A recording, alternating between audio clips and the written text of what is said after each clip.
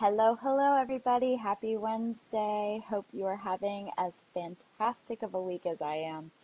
Uh, once again, feeling very, very full today after such a fun, fun day yesterday.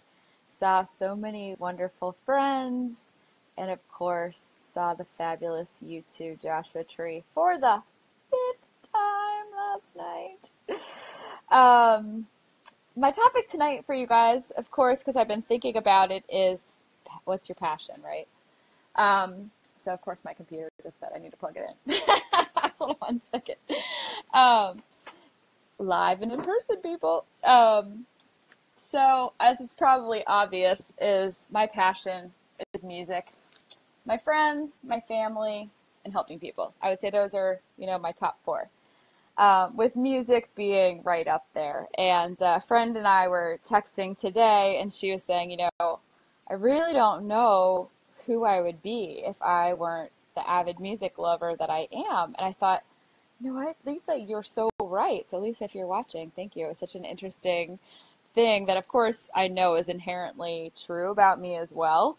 Um, the thing I love so much about seeing live music is that energy exchange that happens between the performers and the crowd. And it's when a band is in the zone and you know they're having a great time and they feel the crowd giving their all and people are so into it. I mean, last night it was just electric, right? It's so awesome. It's addicting. Um, but the other thing I really love about it is I love seeing people do what they do well.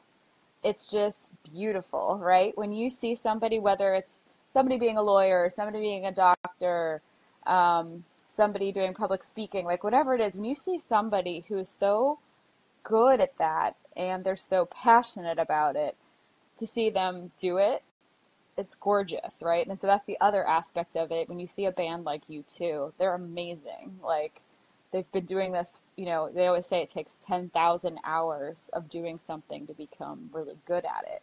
Like, can you imagine? Like, last night was two hours. How many years they've been doing Joshua Tree for 30 freaking years? How many hours they've been on stage practicing to make that show as awesome as it was last night? Um, you know, so what are you guys passionate about? I'm like always curious to see like what drives somebody because you know, obviously my thing is music and like when I meet people like, you know, obviously not everybody is a music fan. I can fully accept that. I might think music should be your number one passion, but um, you know, I love hearing other people talking about their passion and when they get that twinkle in their eye about, you know, what that is. Um, it's really exciting, right? And you see somebody's face light up. Like I feel like my face just lit up when I was talking about that like you almost be, like you there's a part of you that comes out that people don't get to see when you're talking about your passion, right? And so that's really where I love working with people and talking to people. That's like one of my favorite things to do is talking to people about that, right? Because um, it really